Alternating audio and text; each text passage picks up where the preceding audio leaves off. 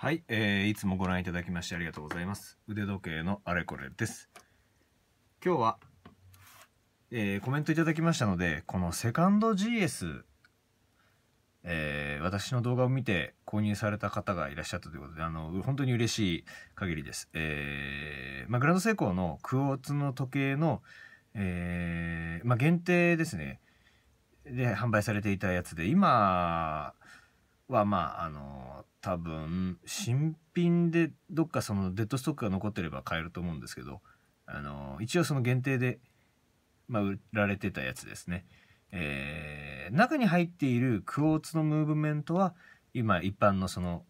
グランドセイコーのものと同じなんですけれども外装があのグランドセイコーの昔のあのセカンド GS あの2番目に作られたやつに外装を全く同じあの大きさで作っていると言われてるやつですね。あのかなりクラシカルな雰囲気で美女にもこだわりがありますね。その昔の美女を再現してます。ただ一点違うのは昔の美女はここの幅があの 15mm なんですけど現行のはあの一般的なサイズの 16mm になってます。そこが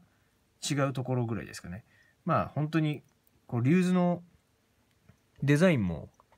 昔の再現していて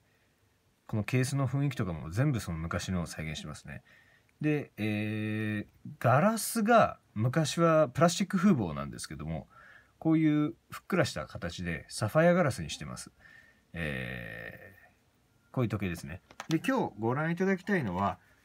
まあこの腕時計のベルト交換あとはそのベルトの色を変えるだけで時計の雰囲気がガラッと変わるのでその状態を見ていただきたいなと思います。で今日使うのは私の動画で何度か上げたんですけれどもベルトはマイナスドライバーで外せるんですけどこういう革ベルトから革ベルトに変えるのだとベルトを買った時にこう安い簡単なこういうベルト外し工具がついてきますのでこれでも簡単に実はできるんだよというのをお見せしたくて。これを使用していきます。では、まあ、まずはベルト外しますね。ちょっとこうベルトをギュッとこうへこませてでその隙間にこう入れて引っ掛けていただければ、えー、カーベルトを外すのは比較的簡単です。金属ベルトの着脱は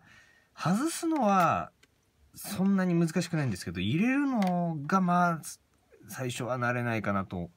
思いますね。でベルトが外れました。では一応これ純正品でこういうブレスレットがついてます。当時はブレスレット仕様の販売は昔はなないです。こうつけるとこうまあこれでも悪くないんですけれどもこの時計の本当にいいなっていうところは革ベルトだと思いますので革ベルトに変えていきたいと思います。あと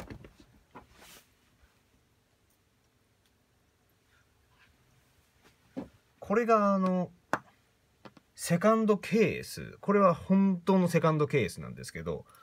まあグランドセイコーに対してキングセイコーというのがあるんですけどそのキングセイコーの2代目のキングセイコーです。ものすごくこうケースの雰囲気とか似てるんですけど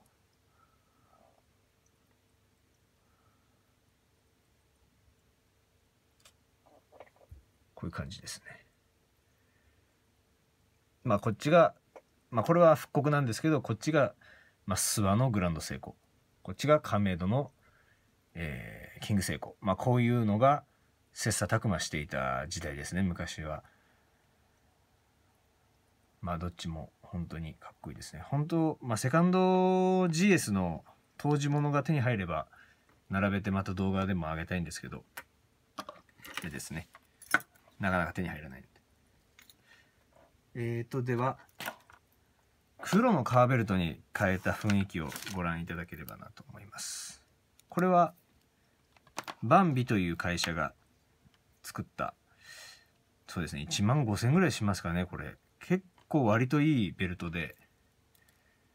また違うグランドセイコーの微乗を今つけてます。同じですね。バネ棒を外してここに挿入します。で、えー、片方をまずこの穴に通して、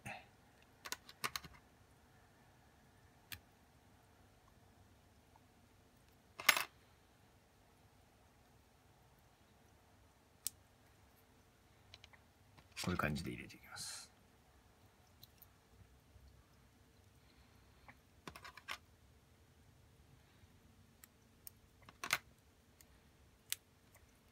こういう感じですね。どうでしょう？黒のベルトになりましたらまた雰囲気がガラッと変わりますね。でこれは厚みが結構あります。割と厚みがありますね。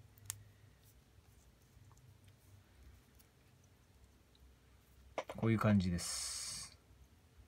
光沢があって、えー、さっきまでつけていたこういう茶色だと柔らかいこう雰囲気になるんですけど黒だとこうグッとこう締まって見えますね。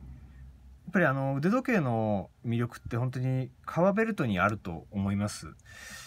まあ、メタルベルト確かに便利なんですけど消耗していく革ベルト、まあ、クロコダイル生き物だと雰囲気はほんと一本一本違いますので一期一会ですよね。で、えー、じゃあ次にお見せしたいのはこれをちょっと見ていただこう。これあのもうマルマンという会社が作ってたベルトなんですけどこれも 19mm です。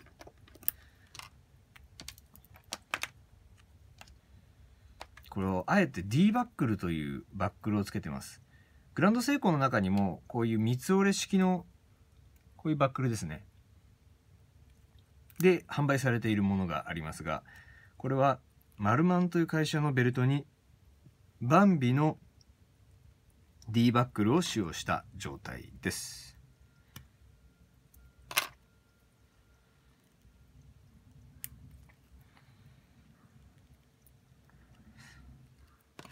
まあ、あえてツヤツヤした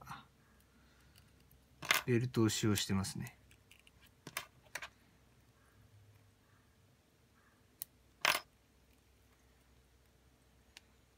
こういう感じでつきます。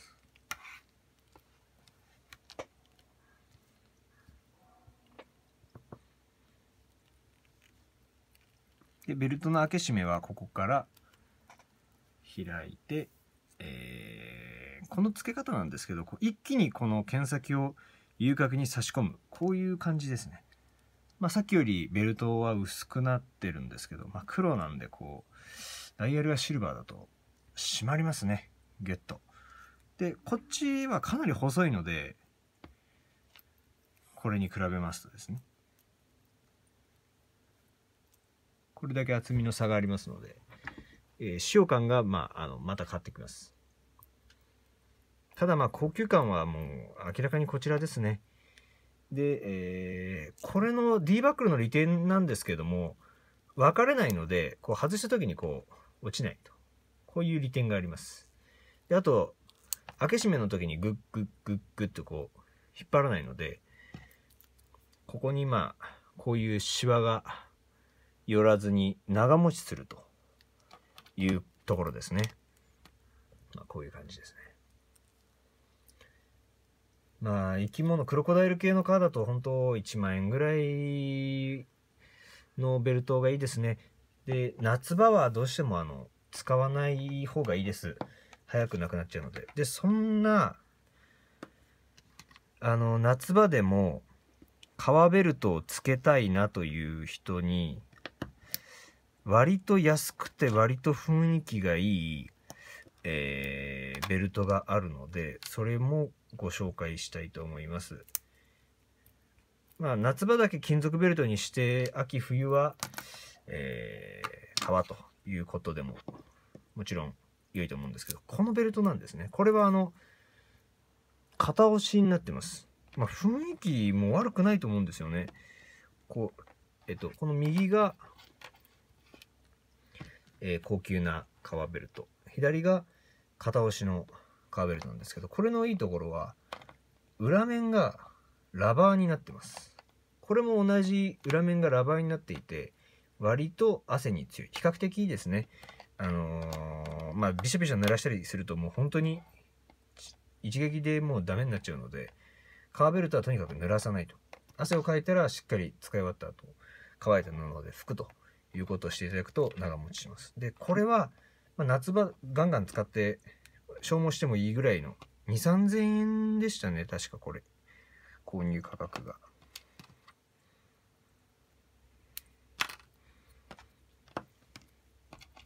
つけていきます。であの他の動画でもご案内したんですけど微状の付け替えはまああのこういう他のものと基本一緒です、えー、側面に穴のあるもの。まあほとんど側面に穴があるんですけどこういうので。つついていただいてバネ棒を外して入れると。でないものは入れますね、まあ、こういう感じでつきます。雰囲気こんな感じですよくよく見ると確かに片押しだなという感じはするんですけども雰囲気を損なわずに夏場でも革ベルトをつけたいという方にとってはこのベルトはなかなかありだと思います。え。私は結構これ好きですねでえー、っと一回も使ってないんですけどこれが純正ベルトですオリジナル品ですね。クロコダイルです。一回つけてみますね。まあ、なぜこれをつけないかというと、これよりも、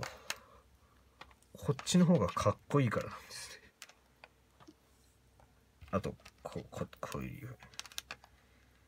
これどれも、この上2つはバンビの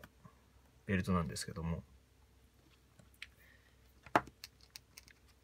こっちの方がかっこいいんですねあ全部 19mm ですあのベルトこのタイプは 19mm ですねつけますとこういう感じになります。どうでしょう。まあ悪くないんですけど見比べていただくと。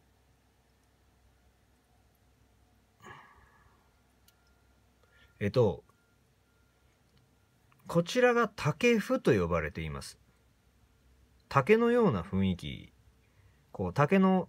割れ目と言いますか、こう竹のような、えー、ところですね。ワニのあのお腹の方です。で、これは玉譜と呼ばれる玉のような雰囲気ですね。まあ、これも玉譜ですね。で、これってワニのお腹から取れるか、あの脇からワニサイドとか言われてますねサイドがこっちでこれお腹の方はこっちとでお値段なんですけど多分竹麩の方が高いですねで玉麩の方がちょっと安いですねまあ相場でメーカーによって全然違うのであれなんですけどあの相場として本当にこっちの方が玉麩の方がわずかに安くて竹麩の方がわずかに高いぐらいな感じですね。でまあ個人的にはこの竹風でこうやる方がねほんと同じ黒でも大して違いないような感じでもだいぶ違いますよねガラッと雰囲気が。でこう光沢のあるこういうものもあると。うん。それぞれ全く違う雰囲気を持ってますのでわずかな違いなんですけどもベルト一つでもうガラッと受ける印象が変わりますので、まあ、ベルト選びは本当に時計の醍醐味楽しみだと思います。えー、今回はねあのこのグランドセコセカンド GS をコメントいただいてあの購入された方がいらっしゃったので、まあ、こういった動画をアップさせていただきました。あのー、本当に時計の醍醐味だと思います。腕時計のベルト選びですね。で、えー今までま紹介したんですけどこういうベルトが一般的に変えられる時計とベルトが変えられない時計っていうのがあるので、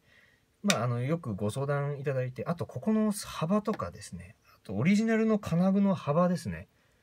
これがすごく重要になるので一般的にこの時計だと 19mm に対してここが 16mm になってますで、それが時々金具が奇数だったりすることがあるんですね。そこはもう本当に一般のベルトメーカー、例えばバンビさんとかだと作っていないので、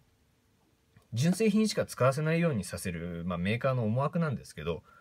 あの、純正品の金具を今後も使いたいということであれば、購入の時にここの幅を確認する、ま、高い時計であればあるほどですよね。確認すべき、えー、要件だと思います。